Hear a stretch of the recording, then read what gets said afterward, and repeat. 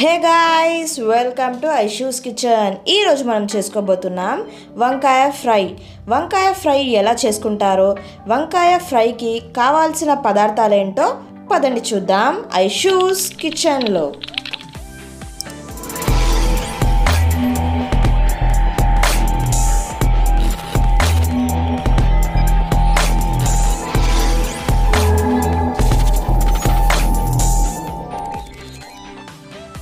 వంకాయ ఫ్రై చేసుకోవడానికి ముందుగా ప్యాన్ తీసుకొని స్టవ్ ఆన్ చేసి ప్యాన్ వేడయిన తర్వాత రెండు నుంచి మూడు టీ స్పూన్ల ఆయిల్ని పోసుకోండి. నూనె వేడయిన తర్వాత ఎల్లిపాయ ధనియాలను దంచుకొని ఒక టీ స్పూన్ అంతా వేసుకోవాలి. ఇప్పుడు హాఫ్ టీ స్పూన్ ఆవాలు హాఫ్ టీ స్పూన్ జీలకర్రను వేసి కాసేపటి వరకు వేగనివ్వాలి. కాసేపటి వరకు వేగిన తర్వాత పచ్చిమిరపకాయలని వేసుకోండి.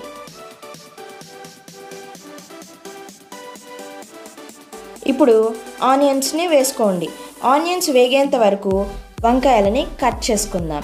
వంకాయలని కట్ చేసుకున్న తర్వాత ఒక బౌల్ తీసుకొని అందులో వాటర్ పోసి ఒక టీ స్పూన్ అంతా సాల్ట్ వేసుకొని కట్ చేసుకున్న వంకాయలని అందులోకి వేసుకోండి. ఇలా కాసేపటి వరకు ఆ వంకాయలని అందులో ఉంచిన తర్వాత ఒక ప్లేట్లోకి ట్రాన్స్ఫర్ చేసుకోండి. ఇప్పుడు ఆనియన్స్ అన్నీ వేగిన తర్వాత ఈ వంకాయలని అందులో వేసేసుకోండి. కాసేపటి వరకు కలుపుకున్న తర్వాత వంకాయలకి మసాలా యాడ్ చేసుకుందాం. మసాలా అంటే ఏం లేదు. హాఫ్ టీ స్పూన్ పసుపు. మీ టేస్ట్కి సరిపడా సాల్ట్ వేసుకోండి.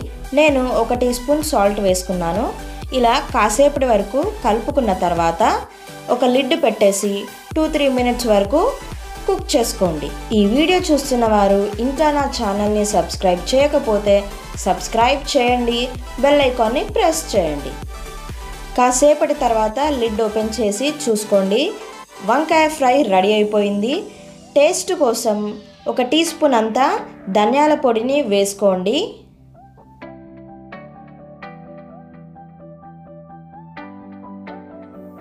చూశారు కదా ఈజీగా టేస్టీగా వంకాయ ఫ్రై ఎలా చేసుకుంటారో. వంకాయ ఫ్రై రెడీ అయిపోయింది. స్టవ్ ఆఫ్ చేసి ఇప్పుడు వంకాయ ఫ్రైని ఒక బౌల్లోకి సర్వ్ చేసుకుందాం. ఈ రెసిపీకి కావాల్సిన పదార్థాలు డిస్క్రిప్షన్లో మెన్షన్ చేశాను. మీరు కూడా ఈ రెసిపీని ట్రై చేసి ఎలా ఉందో కామెంట్ సెక్షన్లో కామెంట్ చేయండి. చూశారు కదా తక్కువ టైంలో వంకాయ ఫ్రై ఎలా చేసుకుంటారో. మీరు కూడా ఈ రెసిపీని ఒకసారి ట్రై చేసి ఎలా ఉందో కామెంట్ సెక్షన్లో కామెంట్ చేయండి.